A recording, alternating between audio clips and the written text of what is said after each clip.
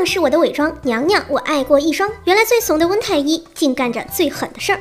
温实初才是《甄嬛传》里最疯狂的吧？谁能想到，表面上活得谨小慎微的温太医，竟然成了狂徒了，唯唯诺诺，干着诛九族的事儿。现在再看《甄嬛传》，才发现温实初该干的、不该干的全都干了，单拎出来一件都是可以判刑的程度。这得亏是瞒的好啊，在嬛嬛没有选秀进宫之前，就在庙门口向嬛嬛求婚。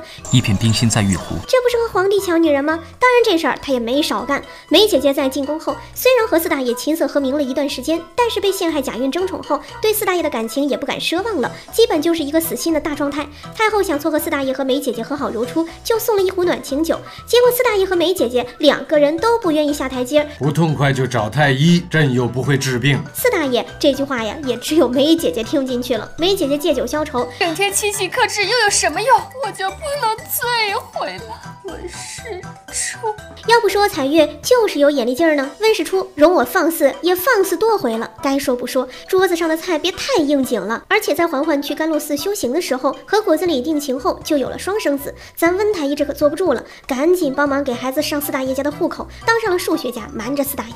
全剧只有他一个人知道所有的秘密。跟嬛嬛汇报的时候，要说你的胎六个月，梅姐姐的一个月；对眉庄说你的胎两个月，皇儿的五个月；对四大爷和太后说熹贵妃五个月，惠嫔一个月。这事儿要是说错一个字儿，都是要掉脑袋的，根本办不了一点儿。我取快递在驿站门口都得看三遍取件码。温实初还教导出了帮助嬛嬛屠龙的魏林，好，好，好，温是他的姓，颠是他的命啊！全剧最颠的就是他。结果看完剧后还觉得他是老实人。果然，温太医就是深藏不露。